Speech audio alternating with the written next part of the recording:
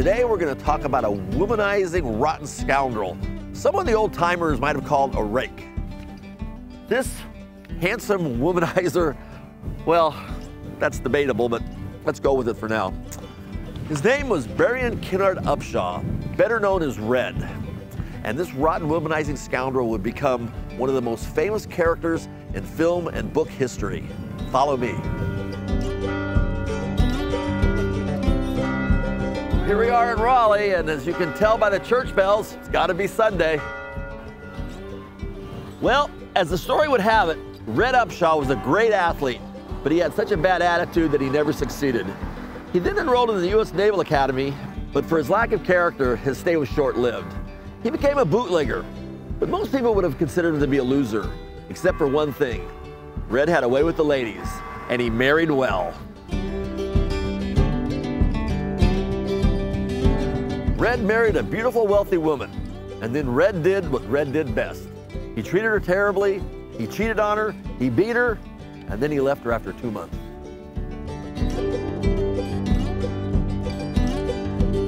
Well, the woman got on with her life. She actually started writing a book, a little thing called Gone with the Wind. That's right, folks. Red Upshaw was Margaret Mitchell's first husband, and she used that snake as the character reference for the bootlegging, rakish Rhett Butler. The only thing was, she wrote the character of Rhett Butler as the man she thought she'd married, not the man he actually was. Although you need kissing badly. That's what's wrong with you. You should be kissed and often, and by someone who knows how. Oh, and I suppose you think you're the proper person. I might be. Tonight, I am here just as a spectator. I want to see Gone with the Wind the same as you do. And this is Margaret Mitchell's night and the people of Atlanta's night.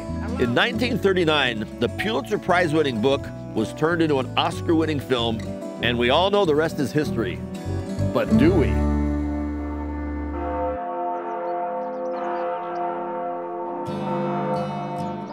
Well, Red was quite the vagabond, and without his famous wife at his side, he pretty much disappeared in obscurity.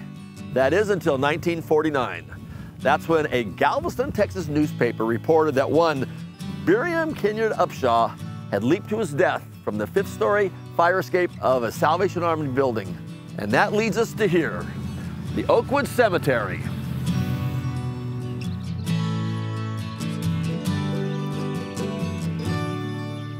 Ah! And here we are, hard to believe that under this undistinguished tombstone lies the inspiration for one of the most dashing characters in history. Although his ex-wife only wrote one book, it made her extremely famous and very wealthy. By all accounts, she had a happy life with her second husband, John Marsh, who was none other than Red's best man at the wedding. Sadly, Margaret Mitchell was struck and killed by a speeding car while she and her husband were crossing the street on their way to see A Canterbury Tale. Margaret Mitchell died in 1949 and will be remembered forever in history. Red Upshaw, not so much.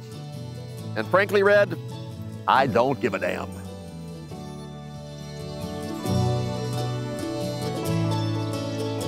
Well, I hope you enjoyed the segment. And as always, we really appreciate you watching. If you get a chance, please share with your friends, subscribe, and ring the bell.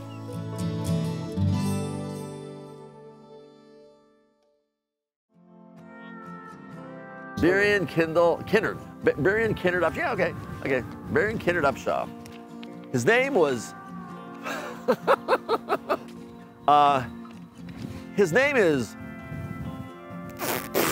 Berrien Kinnard Upshaw. His name was was Berrien Kinnard Upshaw. Oh, I'm so sorry. Some Texas newspaper reported that one I hate his name. because he has such a bad attitude. It is Berrien. Berrien. What a name. What, why can't he have a normal name? I hate his name.